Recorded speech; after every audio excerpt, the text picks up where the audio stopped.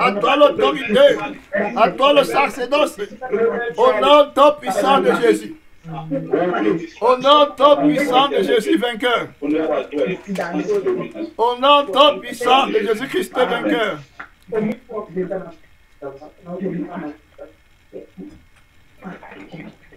Au nom tout puissant de Jésus-Christ vainqueur. Amen.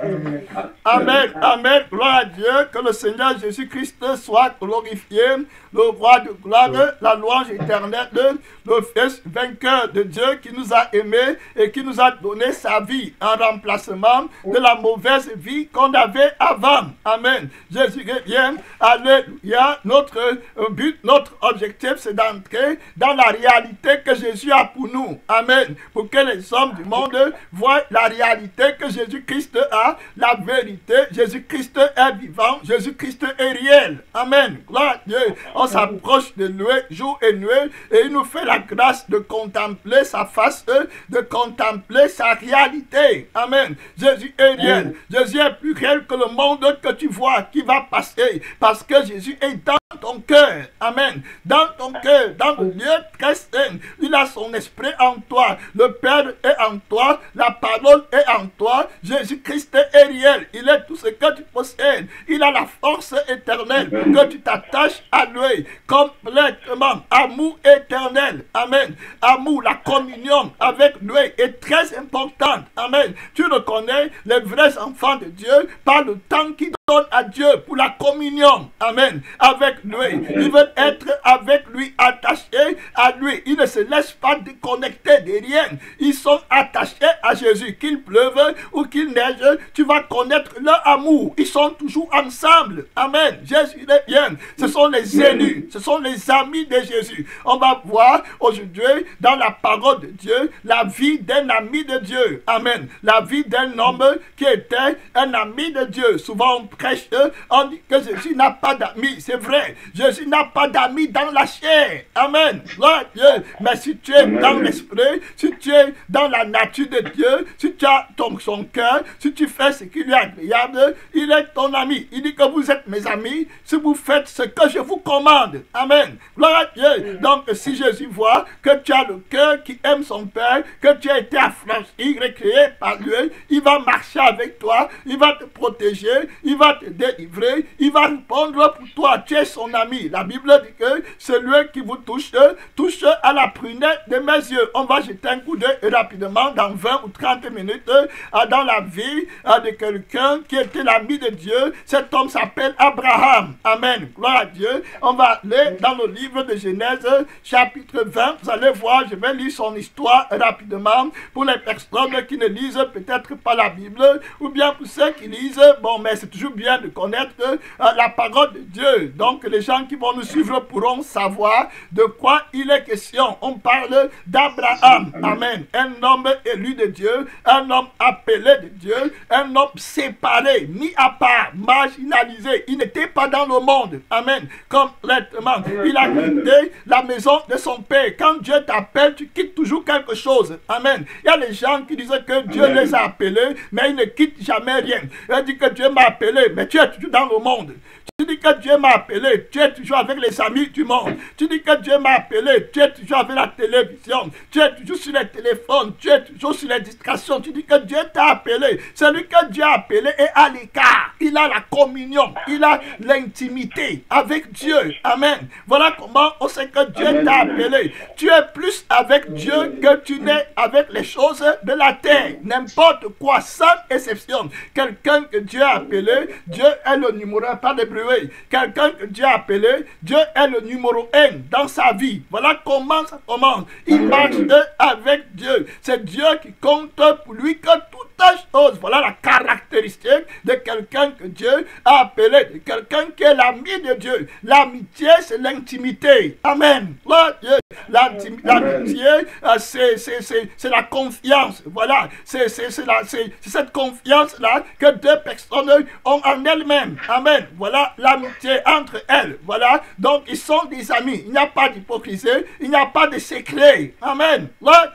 Voilà, un ami, c'est quelqu'un que tu peux aller voir la nuit quand tu n'as pas quelque chose et le frapper à la porte. Jésus dit que un homme a reçu des invités chez lui pendant la nuit et il n'avait pas de pain il allé voir son ami la nuit pour lui dire prête-moi le pain. Amen. Vous voyez, les amis n'ont pas d'heure de visite. Les amis peuvent se visiter n'importe quand. C'est comme ça que quand tu es ami de Dieu, voilà, il n'y a rien, il n'y a pas de frontière. Amen. Entre Dieu et toi, tu êtes un complètement. Quand tu pleures, ton ami doit savoir. Quand tu es content, ton ami doit savoir complètement. Amen. Voilà ce qui se passe entre les amis. Gloire à Dieu. Euh, les amis partagent les douleurs et les amis partagent les joies. Alors regardez dans la vie d'Abraham, Genèse chapitre 20, à partir du verset 1 au verset 18. Je vais lire dans la parole de Dieu. Abraham partit de là pour la contrée du Midi. Il s'établit entre Kadès et Chaume. Il fit un séjour à Guéram. Abraham disait de Sarah, sa femme, c'est euh, ma soeur. Abimelech, roi de Guéram fit enlever Sarah. Alors Dieu apparut en songe à Abimelech pendant la nuit et lui dit, voici, tu vas mourir à cause de la femme que tu as enlevée, car elle a un mari. Abimelech, qui ne s'était point approché d'elle, répondit, Seigneur, ferais-tu périr même une nation juste? Ne m'a-t-il pas dit, c'est ma soeur, et elle-même n'a-t-elle pas dit, c'est mon frère, j'ai agi avec un cœur peu, avec des mains innocentes. Dieu lui dit en songe, je sais que tu as agi avec un cœur peu. Aussi t'ai-je empêché de pécher contre moi. Ah, c'est pourquoi je n'ai pas permis que tu la touchasses. Maintenant, rends la femme de cet homme, car il est un prophète. Il priera pour toi et tu vivras. Mais si tu ne la rends pas, sache que tu mourras, toi et tout ce qui t'appartient. Abimelech se leva de bon matin. Il appela tous ses serviteurs et leur rapporta toutes ces choses. Et ces gens furent saisis d'une grande frayeur. Abimelech appela aussi Abraham et lui dit, qu'est-ce que tu nous as fait? Et en quoi euh, t'ai-je offensé euh, que tu aies fait venir sur moi et sur mon royaume un si grand péché Tu as commis à mon égard les actes qui ne doivent pas être comme qui ne doivent pas se commettre. Et Abimelech dit à Abraham, quelle intention avais-tu pour agir de la sorte? Abraham répondit, je me disais qu'il n'y a sans doute aucune crainte de Dieu dans ce pays et que l'on me tuerait à cause de ma femme. De plus, il est vrai qu'elle est ma soeur, fille de mon père. Seulement, elle n'est pas fille de ma mère et elle est devenue ma femme. Lorsque Dieu me fit errer loin de la maison de mon père, j'ai dit à Sarah, voici la grâce que tu me feras dans les lieux où nous irons, dis-moi, dis de moi, c'est mon frère. Abimelech prit des brebis et des bœufs, des serviteurs et des servants, et les donna à Abraham, et lui rendit Sarah sa femme. Abimelech dit, voici mon pays est devant toi, demeure où il te plaira. Et il dit à Sarah, voici je donne à ton frère mille pièces d'argent. Cela te sera un voile sur les yeux pour tous ceux qui sont avec toi. Et après, euh, auprès de tous, euh, tu seras justifié. Abraham pria Dieu et Dieu guérit Abimelech, sa femme et ses servantes et elles purent enfanter. Car l'Éternel avait frappé de stérilité toute la maison d'Abimelech à cause de Sarah, femme d'Abraham. Amen. Amen. Gloire à Dieu. Merci Seigneur. Ici là, on a la grâce de Dieu à de voir la vie d'un ami de Jésus-Christ, un ami de Dieu appelé Abraham. Abraham, ici là, c'est un serviteur de Dieu que Dieu envoie. Abraham va être appelé, sera la seule personne sur la terre en son temps qui sera appelé de Dieu, par Dieu. Amen. Dieu va l'appeler et Dieu va signer une alliance avec lui pour qu'il devienne le Père des nations. Amen. Quand Dieu choisit un homme, c'est parce qu'il connaît bien cet homme-là. Amen. Et il connaît ce qu'il va faire dans la vie de cet homme. Regardez comment, avant même le Messie ne vienne, Dieu va commencer à utiliser Abraham comme un prophète de Dieu. Amen. Merci Seigneur. Vous voyez, Abraham était prophète sans avoir le titre de prophète aux yeux des hommes. Mais c'est Dieu qui connaissait que Abraham était prophète. Gloire à Dieu. Amen. Vous voyez, il y a des gens, il y a des gens qui veulent des titres sur la terre pour que les gens vont connaître. Amen. Font des choses pour que les gens sachent qu'ils ont des titres. Abraham n'était pas quelqu'un qui regardait le titre. Amen. Il ne connaissait même, je suis sûr qu'Abraham lui-même ne se voyait pas comme prophète. Regardez que l'identité qu'il donne au roi, au roi de Guéra, Abimelech, il ne dit pas qu'il est prophète. Amen. Il dit que Dieu l'a appelé à errer. Les dons de Dieu qui sont dans sa vie, c'est Dieu qui lui donne dépendamment des circonstances dans lesquelles Abraham va se trouver. Amen. Tantôt, Dieu va l'appeler Père des nations. Tantôt, Dieu va l'appeler prophète. Amen. Il sera prédicateur. Tantôt, il va porter la, lumière de Dieu à travers les nations. Abraham, magicien d'un envoyé de Dieu dans les nations qui ne connaissent pas Dieu. Là où Dieu veut intervenir. Regardez, Abraham arrive dans le pays qu'on appelle Guéra. Il arrive dans Guéra, il se dit qu'il n'y a personne qui connaît Dieu là-bas. Et il part en connaissant Dieu et il obéit premièrement à la parole de Dieu. Amen. Qui dit que si quelqu'un veut me suivre, que si quelqu'un veut me suivre pour marcher après l'esprit. Parce que quand Abraham est parti de la maison de son père, c'est Dieu qui lui a donné la révélation de partir. Donc il s'est détaché de la maison de son père. Ça prouve qu'il avait renoncé déjà dans son cœur à la maison de son père et qu'il a aimé Dieu. Donc l'amour qu'il a fait pour la maison de son père, il a remplacé ça par l'amour du Dieu en qui il croit. Amen. Le Dieu qu'il a donc, donc, il s'est séparé facilement de la maison de son père pour s'attacher à Dieu. Et quand tu apprends à donner toutes choses à Dieu, Dieu te conduit plus facilement. Amen. Dans la victoire. Regardez que Abraham va donner euh, sa famille à Dieu, son père. Il avait une main, il avait la maison de son père. Dieu va lui dire quitte. C'est ça qui commence à prêcher à Abimelech. Il dit à Abimelech, quand Dieu me fait errer loin de la maison de mon père, Dieu m'a appelé de quitter tout ce que je possède sur le monde qui va passer? Il ne m'a pas dit que je vais être milliardaire ou bien ou prophète ou Il m'a fait errer. Amen. Errer, c'est quelqu'un qui n'a pas de fils, quelqu'un qui ne connaît pas où il part. Amen. Qui ne questionne pas, qui. Les gens que Dieu utilise, c'est toujours les gens qui ne s'inquiètent pas pour leur avenir sur la terre. Vous voyez, les gens que Dieu, Dieu va utiliser, c'est les personnes qui ne revendiquent pas leurs droits, leur intérêt. Amen. Très important. Donc Dieu, Dieu traîne. Un de Dieu qui marche avec une puissance de rédemption terrible de la part de Dieu. Amen. Quelqu'un qui parle à évangéliser, pas simplement par les paroles, mais par sa vie. Dieu par la puissance du Amen. Gloire Dieu. Abraham entré dans les pays en étant en de communion avec Dieu. Amen. Abraham a combattu les rois, il a combattu Pharaon, il les a tous vaincus parce qu'il avait la pluie du ciel. Amen. Il était l'ami de Dieu.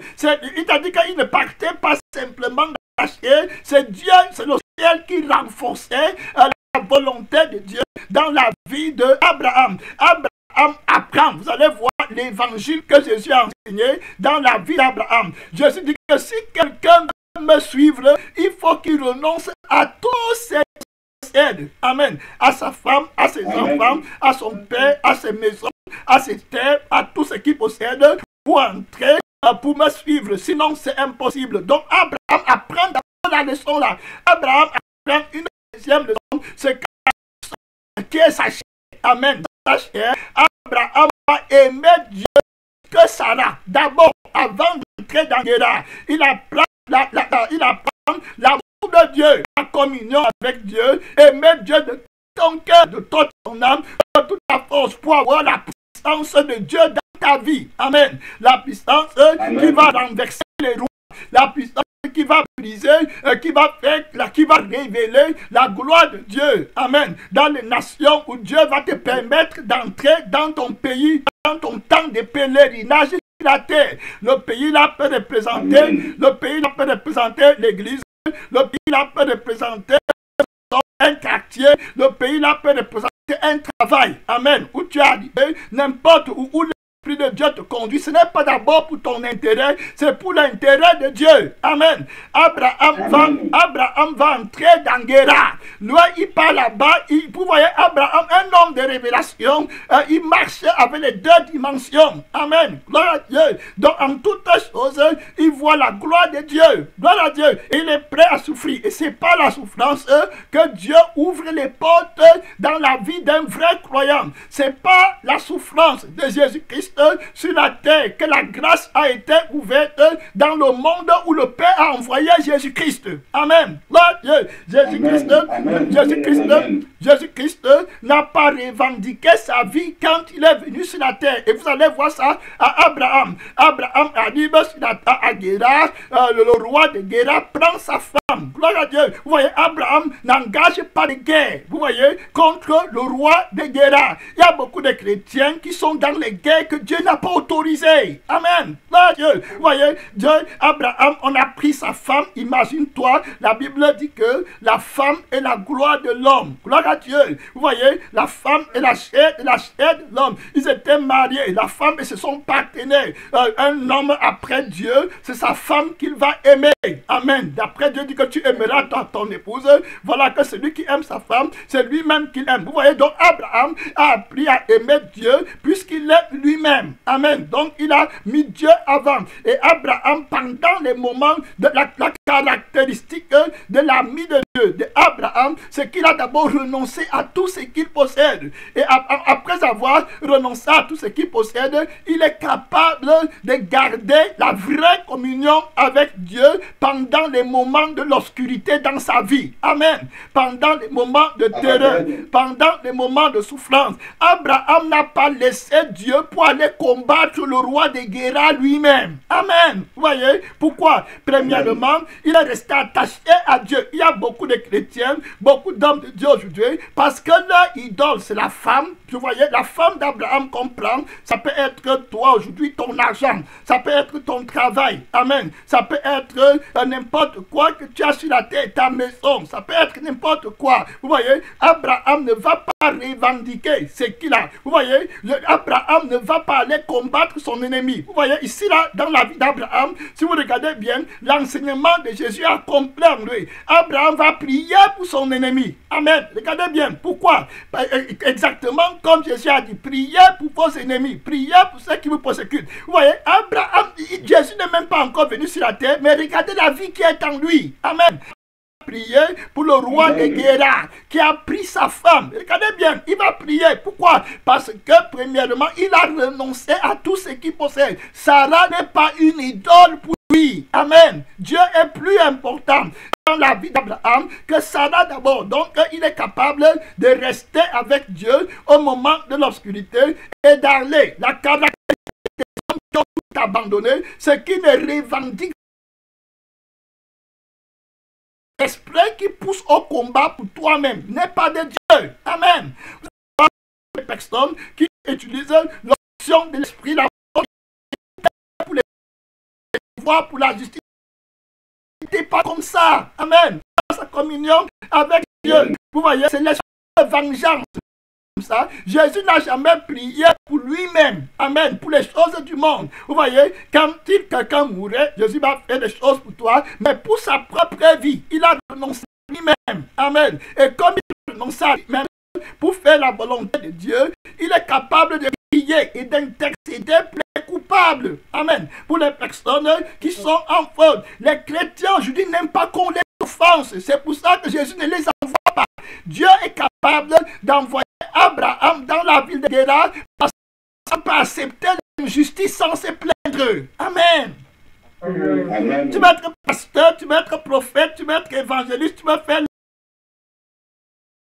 cherches toi-même. Tu ne peux pas prier, tu ne peux pas avoir la compassion, tu ne peux pas pardonner. Dieu ne peut pas t'utiliser. Dieu ne t'a pas envoyé. Amen. Dieu n'envoie jamais les personnes qui ne sont pas sanctifiées. Gloire à Dieu. Regardez Abraham.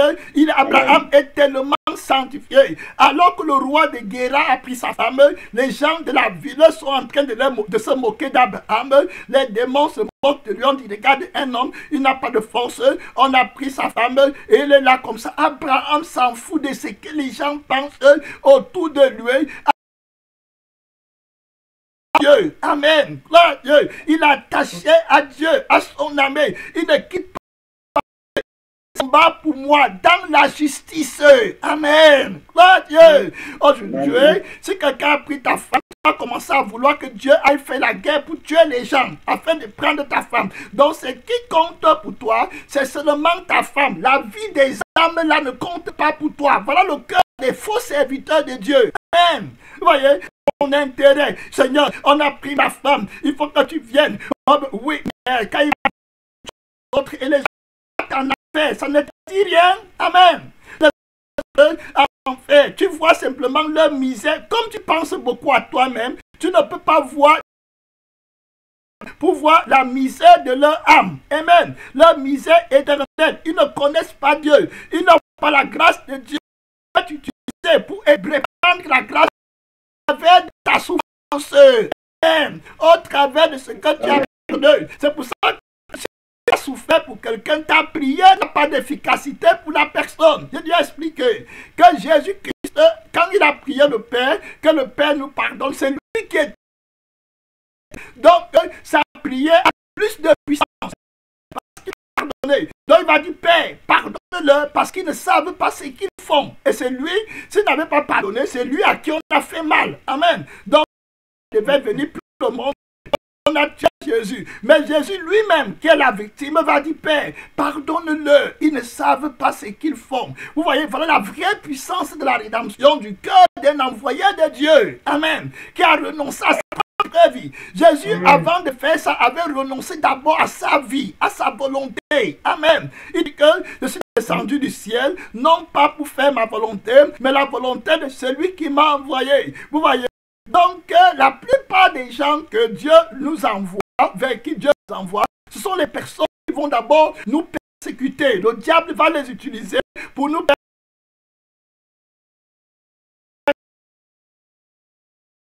ne traverse plus, aller vers eux. Mais si tu as un bon cœur, comme Abraham, et tu as pris la leçon du Saint-Esprit en disant que le monde va passer, je donne tout à Jésus, donc rien ne peut me toucher dans mon cœur. Aussi longtemps que le Saint-Esprit est dans mon cœur. Amen. Aussi longtemps que la communion avec Jésus, aussi longtemps que le consolateur et la personne qui garde la vie, rien ne pourra me toucher. Tu auras la force d'intercéder, tu auras la force de renverser, de changer les circonstances. Donc Abraham ici a pardonné et la grâce de Dieu. Donc le premier point qu'on regarde, on n'aura pas le temps d'entrer le message, peut-être qu'on reviendra une autre fois. Abraham renonce à lui-même et ne recherche pas son intérêt. Amen. C'est Dieu qui va rechercher l'intérêt d'Abraham. Toute personne qui recherche son intérêt marchera toujours dans la force de la chair. Amen. Numéro 1. Si Abraham cherchait seulement son intérêt, il devait aller prendre les armes physiques pour aller combattre. Amen. Vous voyez, parce qu'il recherche son intérêt. Mais il ne recherchait pas son intérêt. Amen. Merci Seigneur. Et il ne voulait pas que Dieu vienne détruire. C'est pour ça qu'Abraham pouvait intercéder. Vous voyez, Abraham était un intercesseur. C'est pour ça que Dieu va dire au roi d'Abimelech Abraham était, il a le cœur d'un intercesseur. Amen. Merci Seigneur. Il y a des personnes qui n'ont pas... Un homme de Dieu doit avoir le cœur d'un intercesseur. La première caractéristique des hommes de Dieu qui sont appelés à avoir la puissance, la rédemption, une grande capacité de pardon. Amen.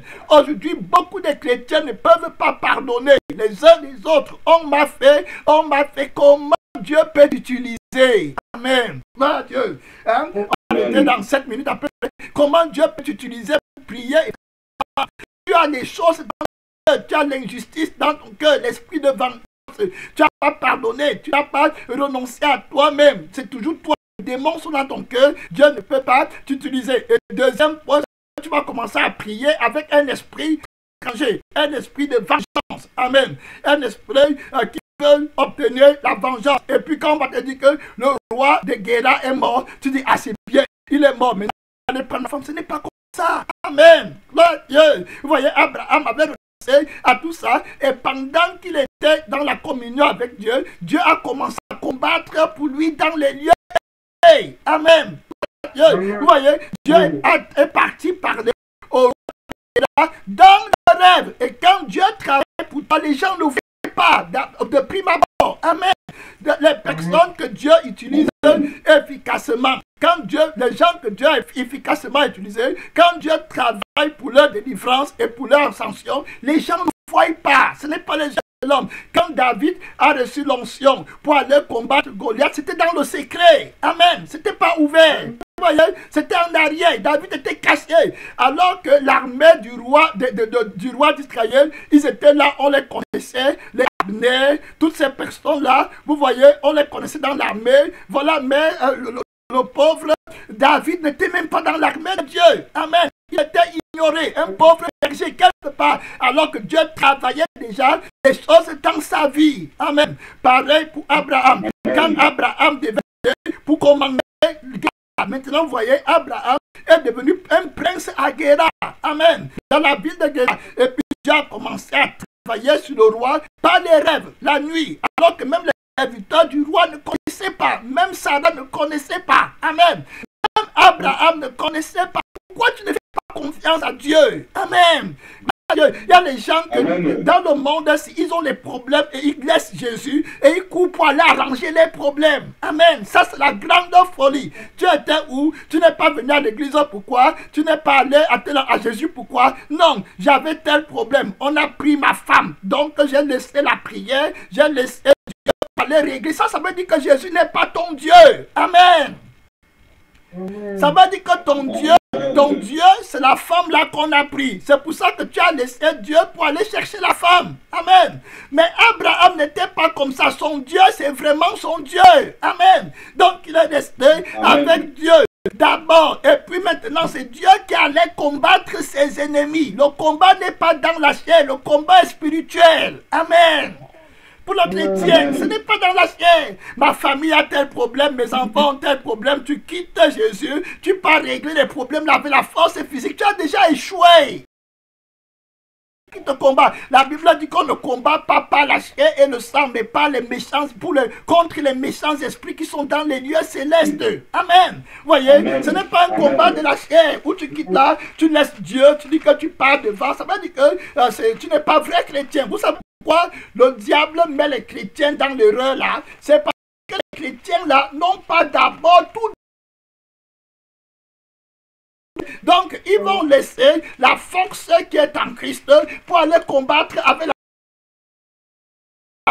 ils vont être vaincus là-bas. Ils vont dire que Dieu n'a rien fait pour moi. Pourquoi? Voilà, ils vont dire que Dieu n'a rien fait pour moi. On m'a vaincu, on m'a fait des choses. Ce n'est pas l'esprit qui t'a conduit. Tu n'as pas pris les armes de l'esprit.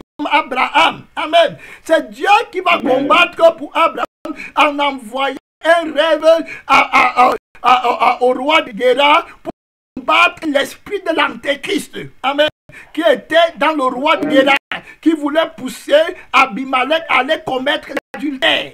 Amen. Dieu a dit à Abimelech, je t'ai donné le pouvoir de ne pas combattre, commettre l'adultère. Amen ce que Dieu va dire à Abimelech. Il va dire que je t'ai empêché d'aller combattre, commettre l'adultère. Le Saint-Esprit a le pouvoir de faire que les gens ne touchent pas à ce que Dieu t'a donné, à ce que Dieu a sanctifié. Vous voyez, ce que le chrétien possède, c'est une, une chose sainte qui est vouée à l'éternel. La femme d'Abraham, c'était une sanctifiée. Amen. Pour l'éternel. Sarah était sanctifiée. Elle avait les entrailles sanctifiées qui devaient porter la descendance, la postérité de Dieu. Amen. Vous voyez? Donc Dieu a on ne suit pas à ce qu'il a sanctifié. Tout ce que le vrai enfant de Dieu possède, que tu as donné à Dieu. Abraham avait donné Sarah à Dieu. Amen. À Dieu. Vous voyez? Tu ne peux pas combattre le diable si tu n'as pas donné à Dieu. C'est pour ça que Jésus dit que renonce, donne-moi tout ce que tu possèdes. Quand Jésus dit renonce à que tu possèdes, il est simplement en train de dire que donne-moi, Amen, tout ce que tu possèdes. Si c'est dans ma main, personne ne peut prendre. Donne tes enfants à Jésus, donne le ministère à Jésus, donne les dons à Jésus à Jésus. Donne la vie de prière à Jésus. Donne ton argent à Jésus. Donne ton temps à Jésus. Donne ta vie à Jésus. Le diable ne peut pas toucher à ça. Dieu le combat spirituel, ce n'est pas dans la chair. Amen. Tu te vois là, dans Ephésiens 6, la Bible dit que contre la chair et le sang, mais contre les dominations, contre les autorités, contre les princes de ce monde des ténèbres, contre les esprits méchants dans les lieux célestes. Amen. Vous voyez, Abraham connaissait ça. C'est pour ça qu'il n'est pas allé combattre le roi des guerres dans la chair. Amen. Voilà ce qu'on appelle connaître Dieu attaché à Dieu. Abraham a combattu le roi de Guéra par la communion qu'il avait avec Dieu. Et puis le Saint-Esprit connaît la pensée de Dieu, lui a révélé que ce n'est pas pour tuer les gens, c'est envoyé pour le grand réveil, pour que les gens craignent Dieu et connaissent Dieu, ils vont te restaurer la femme avec même avec même un héritage à l'appui. Amen. Gloire à Dieu. C'est moi qui suis ta récompense. C'est moi qui suis ta force. Vous voyez, le roi de Guéra, à la fin, va demander à Abraham de prier pour lui. Et Abraham va détourner la colère de Dieu, non seulement dans la ville du roi de Guéra, mais dans toute la ville. Amen. Gloire grâce de qui a été envoyé là-bas ne cherchait pas son intérêt. Amen. Il était prêt à pardonner. Il était prêt à souffrir. Amen. Et même, il dit que j'aime l'âme de mon frère. Je, m'en fous du. Je suis prêt à l'aimer. Je ne veux pas qu'il aille en enfer. Amen. Je ne veux pas que mon prochain, mon contemporain aille dans le fait.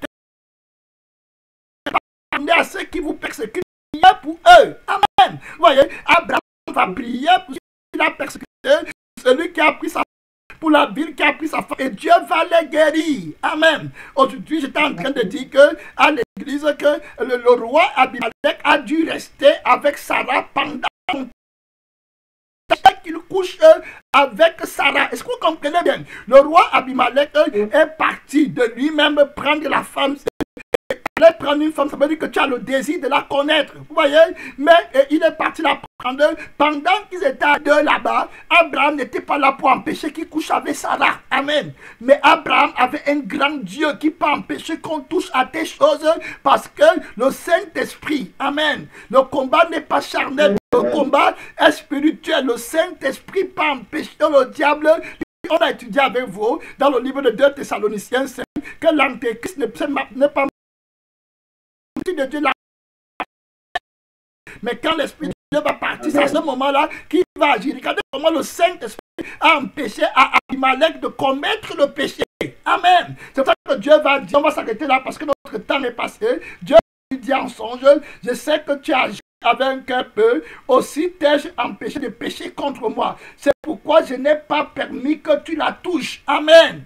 Dieu. Vous voyez, il n'a pas permis. Aujourd'hui, vous allez voir les chrétiens, les chrétiens vainqueurs. Les chrétiens qui disent qu'ils ont les rêves de Dieu et puis sont vaincus dans leur péché. Ceux qui ont les rêves de Dieu, j'ai déjà remarqué, les rêves qui viennent de Dieu, ils ont toujours la victoire sur le péché. Amen. Là, Dieu. Ils ont toujours. Regardez la vie de Joseph. La vie de Joseph, Joseph avait les rêves que Dieu lui avait donnés. Amen. Parce que le diable utilise les rêves comme une porte d'entrée pour amener les gens dans les péchés.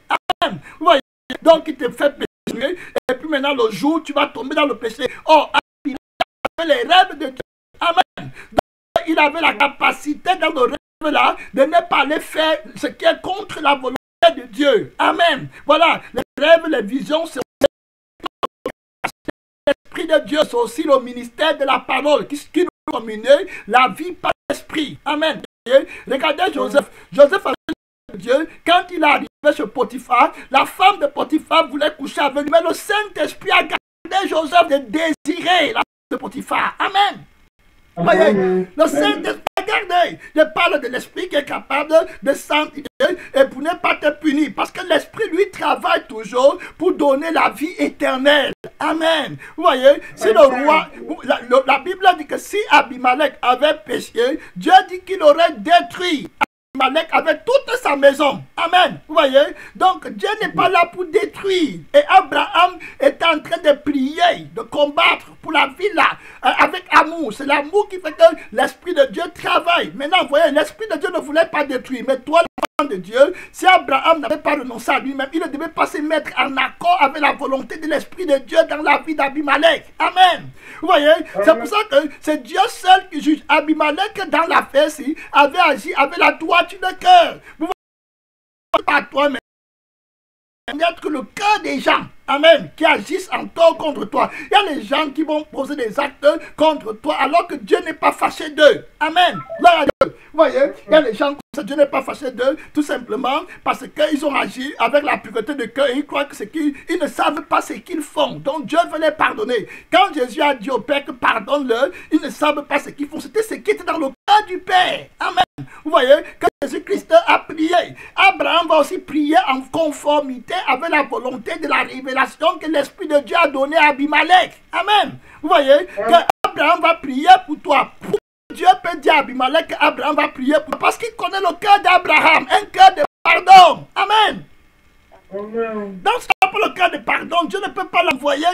Ça, c'est l'image des personnes qui ne peuvent pas avoir la solution, le réveil dans nos vies aujourd'hui parce que la volonté de Dieu, qui est d'abord la de la vie éternelle qui doit accorder à toutes les âmes de la terre. Dieu n'a pas encore été glorifié, mais toi tu cherches moi, moi, moi. Abraham n'est pas parti chercher moi, moi. C'est Dieu qui est en train de régler. Amen. La vie de Abraham, je n'ai pas le temps d'entrer dans les démonstrations à partir des versets bibliques dans la vie d'Abraham. Abraham n'a jamais, vous voyez la capacité d'Abraham, il ne revendique jamais son intérêt. Amen. Si vous regardez, euh, au moment où il voulait se séparer, avec l'autre, Abraham était le plus, le plus âgé que l'autre. Quand ils sont arrivés, et puis les serviteurs d'Abraham et les serviteurs de son problème. Donc ils se sont chamaillés. On n'a pas le temps d'aller lire ça parce que je vais prier. Mais ceux d'entre vous qui aimeraient lire, ils peuvent aller dans le livre de Genèse 13. Vous allez voir euh, dans Genèse 13, verset 1 à 12. Euh, voilà, Abraham va se séparer de l'autre. Regardez ce qu'Abraham va lui dire. Amen. Vous voyez, Abraham,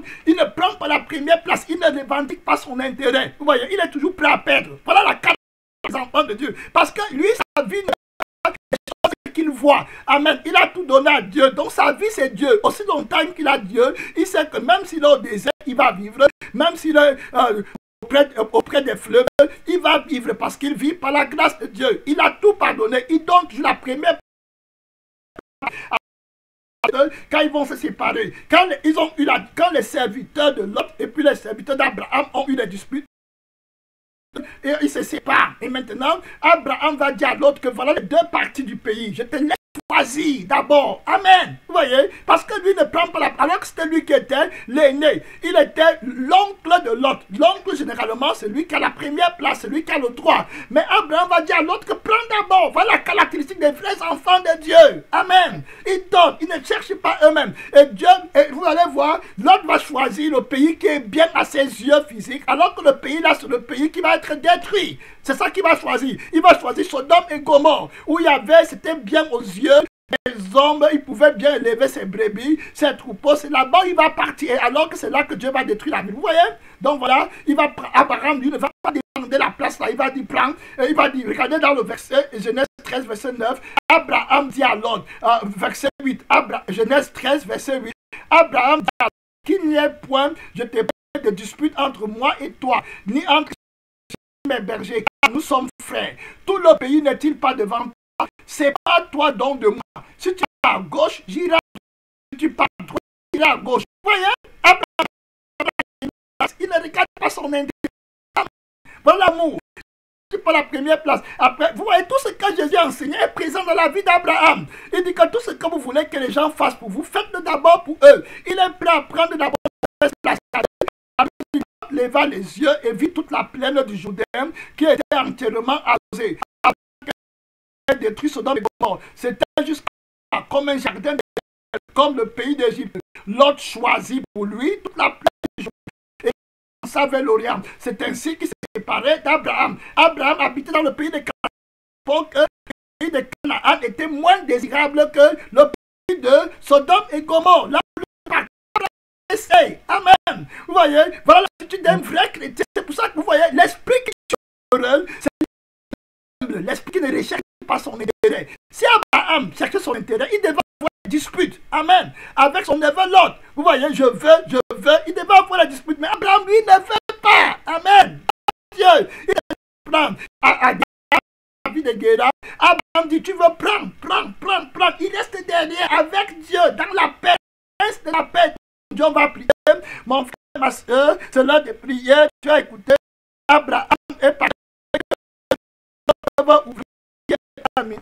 C'est de prier. Tu as entendu que Abraham est parti. Avec la grâce de Dieu, il a commencé à tout ce qu'il possède, tout ce qu'il possède, pour avoir la victoire dans le pays de l'ennemi, dans le camp de l'ennemi. C'est de prier, prêt, mon frère, prêt pour que Dieu te donne la grâce de vaincre, de renoncer à toi-même, de prier pour tes ennemis, que la volonté de Dieu s'accomplisse, ouais, dans ta vie, dans le pays où il t'envoie, dans l'église dans la maison où il t'a envoyé, dans le quartier où il t'a envoyé, dans la famille où il t'a envoyé, prêt pour que tu portes la victoire, pour que Dieu sauve les gens, pour que tu pardonnes les gens, pour que les gens ne partent pas en enfer à cause de toi, à cause de l'esprit d'accusation, de manque de pardon, vengeance, prêt pour que l'esprit de vengeance, Prie pas pour les ennemis. Prêt, mon frère. Prêt pour que tu sois comme Jésus. Prêt à pardonner. Prêt pour les coupables. Pour. Abraham, abandonné. Oui, il a première place à l'autre. Mais prêt pour Seigneur Jésus a parlé, roi de la on retrouve sur le caractère d'un vrai chrétien. La deuxième place, la dernière place, qui ne recherche pas son intérêt, qui ne revendique pas, qui pardonne, qui compte sur Dieu, qui compte le Seigneur, qui ne combat pas par la chair, par l'esprit de la chair, qui combat par la force de l'esprit, par le Dieu tout-puissant. Seigneur, aie pitié. Je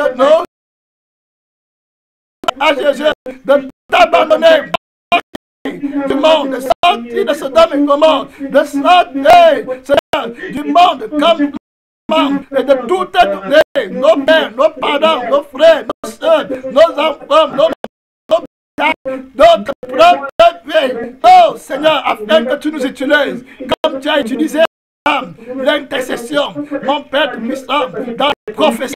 Abraham est un grand prophète, un grand intercesseur, mon Père. Seigneur, un maître véritable qui avait des serviteurs, il savait comment traiter, vivre selon Dieu. Seigneur, que la gloire, que la gloire, que l'adoration, que la victoire, que l'autorité ne deviennent qu'à toi pour des siècles et des siècles. Au nom tout puissant, au nom tout puissant de Jésus-Christ. Amen. Amen, amen, oh, amen. Amen. Amen. Amen. Abraham a perdu. Vous voyez la victoire de la famille. Abraham est sorti de la maison de son père avec son neveu Lot et il n'a pas perdu son neveu Lot. Amen. Parce qu'il ne cherchait pas son intérêt. Il a sauvé sa famille. Regardez bien comment le Seigneur va apporter grâce dans nos familles si on aime aussi notre prochain comme on aime nous-mêmes. Amen. Quand avec l'amour prochain, bonjour à, bonjour à la sœur Sylvie.